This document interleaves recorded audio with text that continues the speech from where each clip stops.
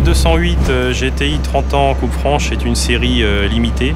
Euh, c'est une série pour célébrer les 30 ans de la, de la GTI.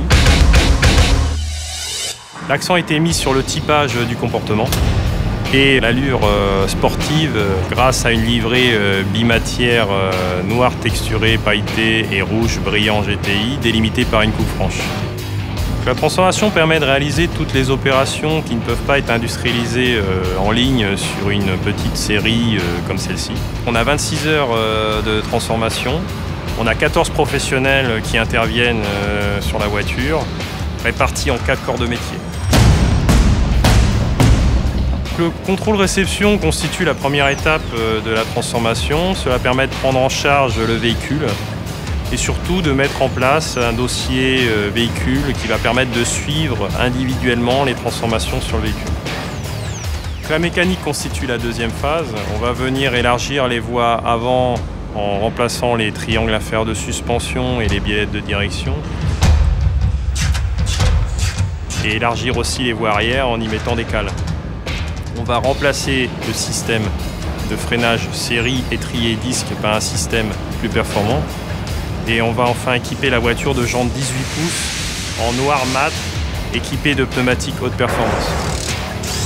La mécanique est une étape euh, extrêmement euh, sensible puisqu'on va intervenir sur un certain nombre de serrages sécurité euh, qui vont devoir être pris, contrôlés unitairement. Donc le démontage, c'est une étape préalable à la peinture qui permet en fait de démonter les quelques éléments qui vont gêner le passage en peinture du véhicule.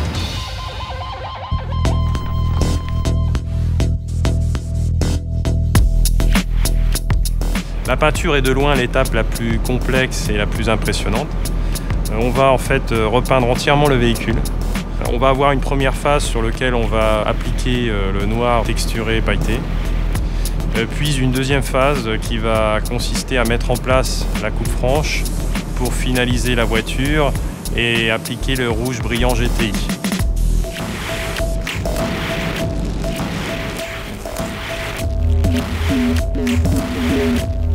La pose du kit extérieur constitue euh, l'ultime étape de la transformation. On va venir poser les élargisseurs, les bas de caisse, un diffuseur arrière, calandre, enjeu d'anti-brouillard ainsi que des moustaches sur euh, la voiture.